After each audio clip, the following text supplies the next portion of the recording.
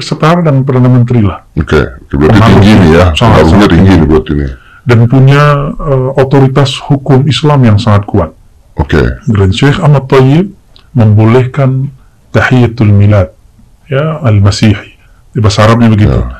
Mengucapkan selamat Natal. oke, Karena basicnya mengucapkan selamat Natal bukan akidah, tapi muamalat. Karena basicnya mengucapkan selamat Natal bukan akidah, tapi muamalat. Karena basicnya mengucapkan selamat Natal bukan akidah, tapi muamalat. Muamalat itu persoalan yang bukan ibadah. oke, Terus di Darul Ifta Mesir, Darul Ifta ini mirip MUI tapi resmi. Resmi dalam artian eh, MUI juga resmi, tapi hanya semacam kumpulan para ulama.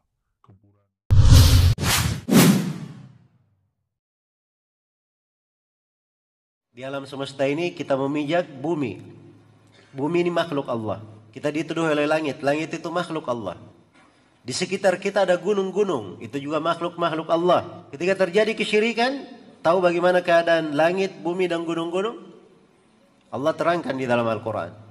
وَقَالُوا اتَّخَذَ الرَّحْمَنُ وَلَدًا لَقَدْ جِئْتُمْ شَيْئًا إِدًّا تكاد السماوات يتفطرن منه وتنشق الأرض وتخر الجبال هدا أن دعوا للرحمن ولدا وما ينبغي للرحمن أن يتخذ ولدا Mereka berkata Allah Ar-Rahman, Allah yang Maha Pengasih, punya anak. Ini ucapan kira-kira bagaimana? Ini luar biasa ucapan ini ya. Ini ucapan kekafiran sekaligus kesyirikan. Iya. Berkumpul dua predikat sekaligus. Itu ucapannya orang Yahudi ketika mengatakan Uzair anak Allah. Ucapan orang Nasara ketika mengatakan Al-Masih anak Allah. Ucapan kaum musyrikin ketika mengatakan para malaikat anak-anak perempuan Allah. Maka Allah menegaskan laqad ji'tum syai'an idda. Kalian sungguh telah mendatangkan suatu perkara yang sangat mungkar. Takadus samawatu yatafattarna minhu. Hampir saja langit itu meleleh karenanya. Watansyakkul ardu dan hampir itu bumi terbelah karena itu. Watakhirul jibalu hadda dan hampir saja gunung itu runtuh. Tatkala mereka mengatakan bahwa Allah memiliki anak, padahal sangat tidak layak, tidak pantas dikatakan Allah memiliki anak. In kullu man fis samawati wal ardi illa ati rahmani abada. Laqad ahsahum wa addahum adda wa kulluhum atihi yaumal qiyamati farda. Segala yang di langit dan di bumi itu akan datang menghadap kepada Allah sebagai hamba. Allah telah menghitung mereka dengan sangat detail dan menjumlah mereka dengan sebenarnya. Dan setiap dari mereka akan datang menghadap kepada Allah sendirian mempertanggungjawabkan amalannya. Allah yang maha memiliki langit dan bumi dikatakan perlu anak. Ini sungguh ucapan yang sangat besar. Maka ini bentuk bagaimana ketika dasar pokok dari dakwah para nabi dan para rasul ini dilanggar. Memurnikan ibadah kepada Allah, jatuh di dalam kesyirikan. Jangankan kita, para nabi saja, kalau jatuh di dalam kesyirikan, Allah subhanahu wa ta'ala telah menegaskan kepada mereka. Bisa dilihat ya, direnungi di dua tempat dalam Al-Quran. Tempat yang pertama di surah Al-An'am. Di surah Al-An'am itu disebut nama-nama nabi. Iya, disebut nama-nama nabi. Ada ada belasan, hampir 20 nabi disebut. Di akhirnya Allah berfirman, "Walau asyraku lahabita anhum ma kanu ya'malun." Andai kata para nabi ini berbuat kesyirikan, akan hancur seluruh amalan mereka. Dan di surah Az-Zumar, Allah Subhanahu wa taala berfirman kepada nabinya, "Walaqad uhiya ilaika wa ila alladhina min qablik, la in asyrakta la yahbatanna 'amaluka wa la takunanna minal khasirin." Sungguh telah diwahyukan kepada engkau Nabi Muhammad dan kepada para nabi sebelum engkau. Andai kata engkau berbuat kesyirikan, akan hancur seluruh amalanmu. Dan engkau akan menjadi orang yang merugi. Iya. Ini para nabi dan para rasul. Karena itu selain nabi dan rasul jangan pede. Kalau berbuat kesyirikan seakan-akan tidak ada masalah dengan amalannya. Seakan-akan dia di menjamin dirinya tidak turun musibah dan malapetaka. Iya. Maka ini adalah dasar pokok dakwah para nabi dan para rasul. Nah, sekarang bertauhid ini memurnikan ibadah kepada Allah itu adalah nikmat yang sangat besar. Nikmat yang sangat agung. Tapi banyak manusia tidak mengetahuinya. Iya. Karena itu Nabi Yusuf alaihi salam beliau berkata wattaba'tu millata abai. Ya. Ibrahim wa Ishaq wa Yaqub. Ma kana lana an nusyrika billahi min syai. Dalika min fadlillahi alaina wa 'ala nasi. walakin aktsara an-nasi la yashkurun.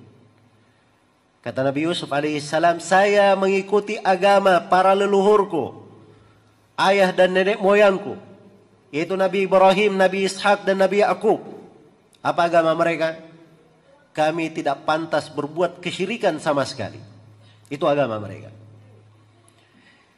Nabi Yusuf tegaskan, tidak berbuat kesyirikan ini itu adalah keutamaan Allah terhadap kami tetapi banyak dari manusia yang tidak mensyukurinya. Subhanallah. Hidup di bawah langit Allah.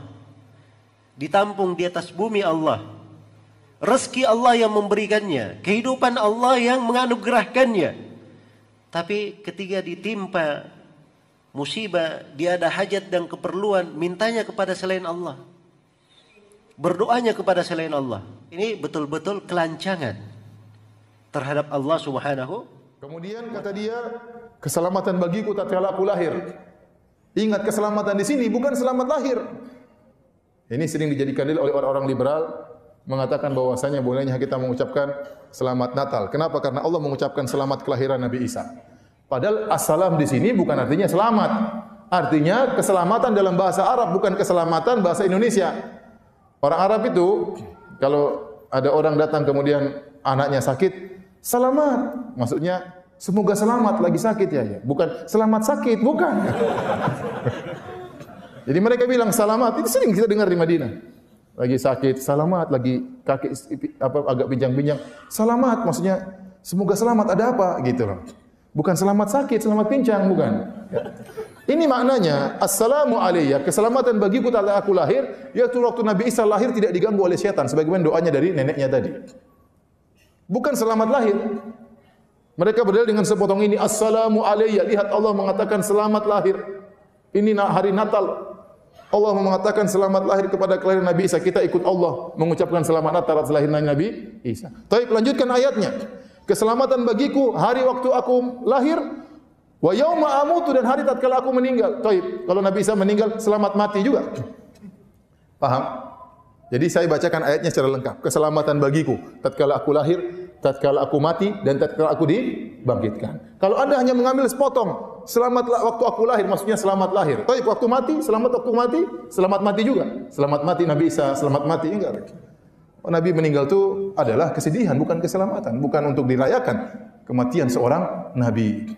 Itu kesedihan yang luar biasa. Dan hari tatkala kebangkitan, nanti antum waktu lahir hari bang kebangkitan antum beri selamat sama Nabi Isa. Eh selamat bangkit. Jadi susah kalau orang apa namanya menafsirkan bahasa Arab diterjemahkan dalam versi bahasa Indonesia. Istilah Arab diarti dengan istilah Indonesia. Kadang saya sedih yang yang mentafsirkan seperti itu orang yang terkenal sebagai ahli tafsir Indonesia.